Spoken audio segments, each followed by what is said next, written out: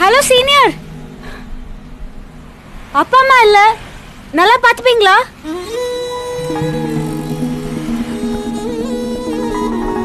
அப்ப என் அழகு ராணியே. என்ன சீக்கிரமா கல்யாணம் பண்ணிக்கோ. அது ஏன்? கல்யாணம் மட்டும் சீக்கிரமா? நம்ம பத்திரமா பாத்துக்க கியூட்டா ஒரு பொண்ணு. வளர்ந்த அப்புறம் நம்மள பத்திரமா பாத்துக்க ஸ்மார்ட்டா ஒரு பையன்.